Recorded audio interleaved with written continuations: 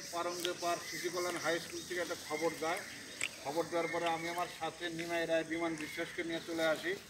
আসার পরে দেখতে পাচ্ছি এটা হচ্ছে সাপ, একটা উদ্ধার করা হলো এখান থেকে। এখানে পরীক্ষা চলতেছিল। সেই হিসাবে এখানে সাপটা উদ্ধার করা হলো। সাপটা দাঁড়ায় সাপ, ঠিক আছে? এই সাপটা আমি এটা ধরলাম, এটার কোনো বিষ নাই। এটা আমি এখন জঙ্গলে ছেড়ে দেবো। আর এটা যাই হোক, সাপ আমাদের সাপ সহজে মারবেন না। সাপ আমাদের বন্ধু। সাপ না থাকলে মানুষ বা পরিবেশ বিষাক্ত হয়ে যেত সাপও প্রয়োজন আছে।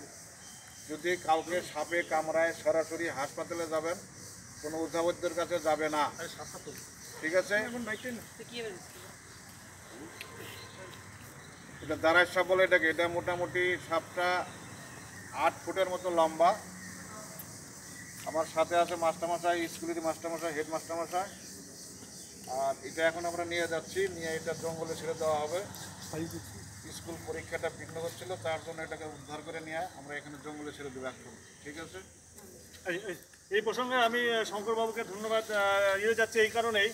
আহ, বস্তুত পক্ষে আমরা জানি সাপ আমাদের পরিবেশের বন্ধু হিসাবে সহায়ক হিসাবে কাজ করে। তথাপি আমাদের মধ্যে ভয়ভীতি আছে আর এখন পরীক্ষা চলছে যেহেতু সেই কারণে গত কয়েকদিন ধরেই সাপটাকে আমাদের স্কুলের প্রাঙ্গণে দেখা যাচ্ছিল।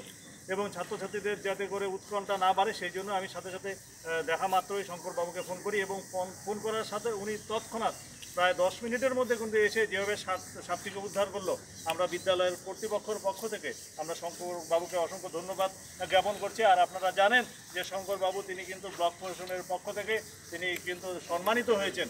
কারণ তিনি নিজে একটা ব্যবসার সাথে যুক্ত এবং ব্যবসারকে তিনি পাশ রেখেই তিনি কিন্তু পরিবেশটা জানি বিঘ্ন ঠিক থাকে। আর বিশেষ করে সাপ জানি আমরা না মেরে সাপকে জানি ধ্বংসের দিকে আমরা না আগাই সেই কারণে তিনি যে কাজটা করে সেটা আমি আমার অত্যন্ত ব্যক্তিগতভাবে এবং পুনরায় শঙ্করবাবুকে ধন্যবাদ জ্ঞাপন করছি এবং তিনি এই কাজটা করে আমাদের যে উৎসাহিত করেন সেই জন্য তিনি আমি চাইব তার এই ধারা যেন আগামী দিনে অব্যাহত থাকে।